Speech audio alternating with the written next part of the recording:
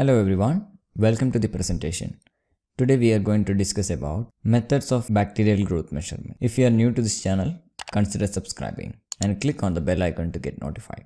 Growth is defined as the increase in cellular constituents and this can result in an increase in cell number or cell mass.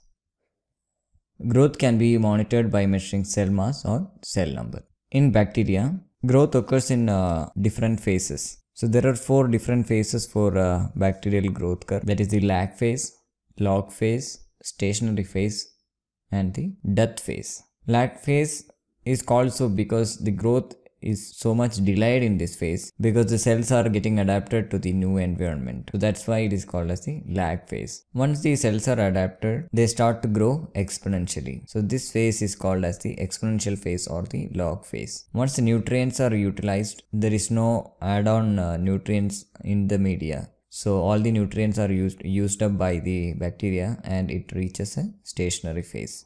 Death phase is follows the stationary phase. So once the uh, uh, nutrients are depleted and the toxic products are accumulated in the system, bacterial growth curve enters the death phase or the decline phase.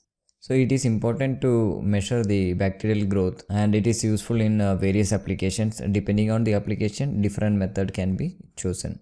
There are two main uh, methods, one uh, direct method and the indirect method. A direct method include uh, plate count, filtration, most probable number and the microscopy count. And in indirect method, it is turbidity, metabolic activity and the dry weight. So measuring uh, all these parameters will uh, help identify the growth of bacteria. One of the accurate uh, measurement for growth is the plate count. Here in this case, the bacterial culture is diluted and uh, plated on agar containing media. So the plating can be done by streaking or by pour plate method.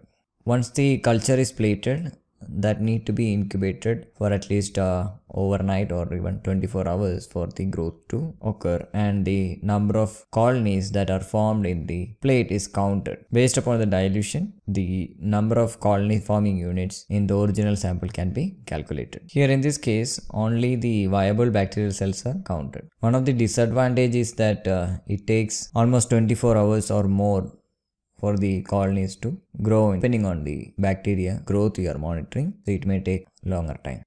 In plate count only the both streak plate as well as uh, pour plate can be used. In pour plate the bacterial colonies are play, uh, mixed with the agar containing medium at around 50 degrees and that is poured on the petri plate so here the problem is that the bacteria which is sensitive to temperature will not grow in this case. So it is not useful for uh, culture that are sensitive to temperature. The other method of bacterial uh, growth measurement is the filtration method. So in this case the bacterial culture or the media containing the bacteria is filtered and the filter paper is placed on a media in the petri plate for growth. Based on that growth, we can identify the number of bacteria. So this is mostly used in the water samples where the concentration is required. Concentration concentrating of the sample is required. The other method is the most probable number. So this technique is used mainly to measure the uh, bacterial cultures that will not grow on solid medium. So the sample is diluted repeatedly and uh, inoculated on several broth tubes for each dilution point. And the number of colonies are counted from each positive tube.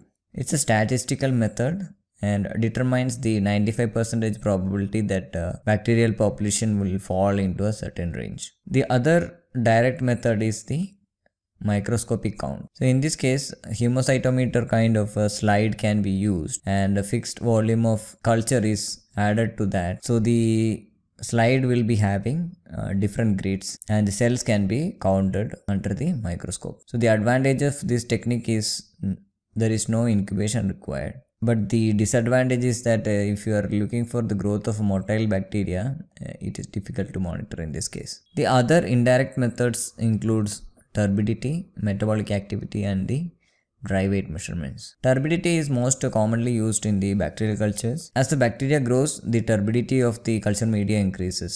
Uh, using a uh, spectrophotometer, optical density of the cul- culture can be identified. A well-grown culture may require uh, dilution. The advantage is that uh, there is no incubation required like the one required for the plating, sheet plating or the pour plating. In this case, directly the cultured uh, media can be diluted and uh, checked on the spectrophotometer.